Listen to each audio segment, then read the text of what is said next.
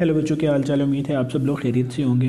अब नेक्स्ट हम स्टार्ट करें चैप्टर नंबर थ्री स्प्रेडशीट सबसे पहले स्प्रेडशीट क्या होती है? स्प्रेडशीट जो है एक कंप्यूटर प्रोग्राम कंप्यूटर प्रोग्राम का मतलब है कि ये एक सॉफ्टवेयर है।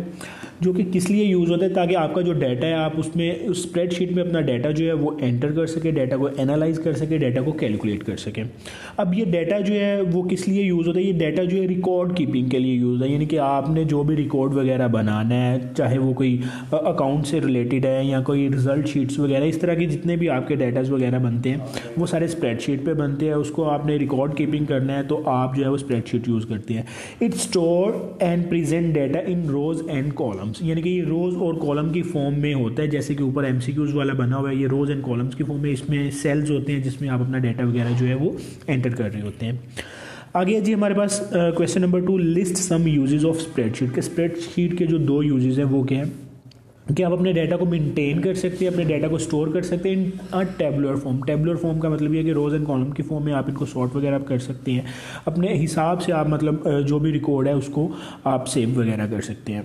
इसके बाद है हमारे पास सेकेंड इसका जो यूज़ है वो है manipulate and calculate data by using various function and formulas यानी कि जो भी आपने कैलकुलेशन वगैरह करनी है या जो भी आपने जो उसमें नंबर्स वगैरह यूज़ किए हैं, आप उन पर डिफरेंट टाइप्स के फ़ंक्शंस और फॉर्मूलाज लगा सकते हैं. यानी कि जो जो एक्सेल प्रोवाइड करता है या जो स्प्रेडशीट प्रोवाइड कर रही होती है आपको फॉर्मूलाज आप वो फॉर्मूलाज यूज़ करके कैलकुलेशन जो है वो ईजिली कर सकते हैं। यानी कि आपने सिर्फ़ और सिर्फ़ डाटा दिया और कैलकुलेशन जो है वो खुद ब खुद होगी सॉफ्टवेयर का बेसिकली काम ही ये होता है कि वो ऑटोमेटिकली जो है वो चीज़ों को कैलकुलेट करता है ताकि आसानी के लिए जो चीज़ें बनाई जाती है। इसके बाद हमारे पास what is spreadsheet software Excel यानी कि स्प्रेडशीट सॉफ्टवेयर एक्सेल जो है वो क्या है? अब एक्सेल जो है वो एक पॉपुलर स्प्रेडशीट सॉफ्टवेयर यानी कि कॉमनली यूज़ होने वाला सॉफ्टवेयर जो है वो आप इसको कह सकते हैं। Excel can be use to professional level to perform calculation on data यानी कि होम टू प्रोफेशनल लेवल ये जो है वो यूज़ होता है। यानी कि एक्सेल यूज़ होता है। आप इसको घर में भी यूज़ कर सकते हैं या अपने ऑफ़िस वगैरह में भी यूज़ कर सकते हैं डाटा के लिए डाटा की कैलकुलेशन करने के लिए। अब नेक्स्ट है हमारे पास डिफाइंड वर्कबुक वर्कबुक क्या होती है? अब वर्कबुक एक फ़ाइल होती है जो कि स्प्रेडशीट प्रोवाइड करती है। यानी कि स्प्रेडशीट जो क्रिएट करती है फ़ाइल जिस पे आप अपना डाटा वगैरह जो है वो एंटर करते हैं उसको हम वर्कबुक कहते हैं।